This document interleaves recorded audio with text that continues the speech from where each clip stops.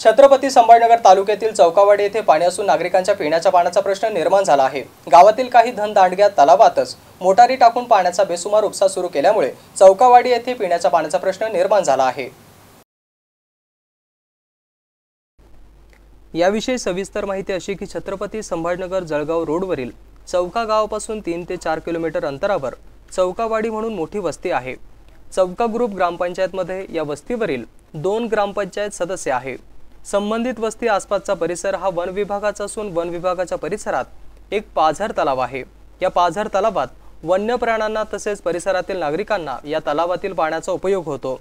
याच तलावाच्या शेजारी चौका ग्रामपंचायतने विहीर खोदून चौकावाडी ग्रामस्थांना या पाण्याचा उपयोग होतो. परंतु यावर्षी सर्वच ठिकाणी पाण्याची समस्या निर्माण झाली आहे. परंतु तलावात थोडेफार पाणी असल्यामुळे या पाण्याचा उपयोग जनावरांना तसेच नागरिकांना होऊ शकतो. परंतु या परिसरातील काही धनदांडग्यांनी जनावरांचा तसेच नागरिकांचा कोणताही विचार न करता संबंधित पाण्याचा वापर आपल्या शेतीसाठी करत असल्याचं ग्रामस्थांनी सांगितले. त्यामध्ये संबंधित पाणी चोरी करत असताना जागोजागी असुरक्षित वायर पसरलेली असून रात्री अपरात्री या परिसरामध्ये वन्यप्राणी पाण्यासाठी येत असतात. त्यांच्या जीवाला धोका होऊ शकतो असे सांगताना सुद्धा स्वतः ग्रामपंचायत या गंभीर बाबीकडे लक्ष देत नसून महावितरणचे कर्मचारी सुद्धा या गोष्टीची दखल घेत नाही. त्यातच वनविभागाच्या जागेवरून अनेक नागरिकांनी पाईप टाकले असून वनविभाग या गंभीर बाबीकडे दुर्लक्ष करताना दिसत आहे.